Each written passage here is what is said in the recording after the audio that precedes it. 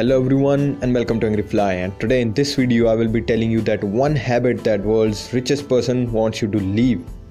Also many of you who are not aware about that that the world's richest person is now Jeff Bezos. He is the founder and CEO of Amazon. Jeff Bezos is already ranked as the world's richest person. Also now his net worth is on a verge of hitting a mind-blowing 100 billion US dollars but for now he stands at 94.8 billion US dollars and behind him is Bill Gates with 89.4 billion US dollars.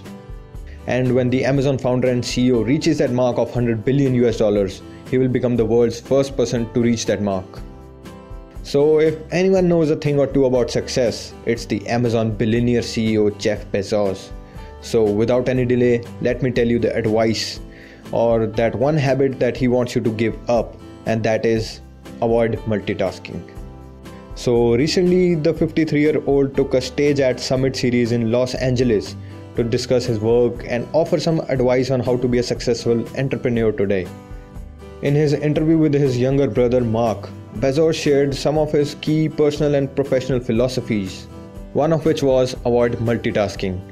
He said that I don't like multitasking. If I'm reading my email, I want to be reading my email.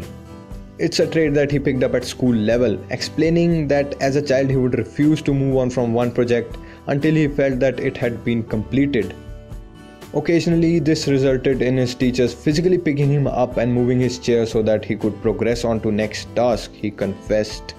Also in this interview, he admitted that leaving his job in financial software engineering to launch Amazon was a risk, but a company now worth 430 billion under his belt it probably isn't the one he regrets taking. And when he was asked what if Amazon failed, and he said that if Amazon failed, I would be very proud when I was 80 that I tried.